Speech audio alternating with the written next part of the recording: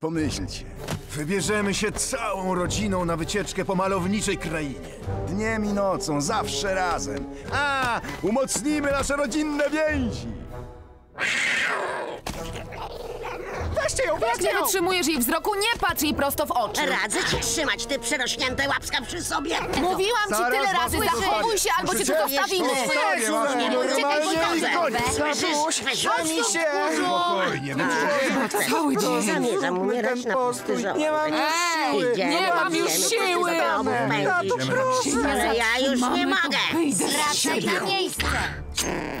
Nie radzę. Może cię zranić. Nie jedz go. To mój zwierzak, Co, przyjaciel. przyjaciel? Taki zwierzak niejadalny. My na to mówimy dzieci. Sobie...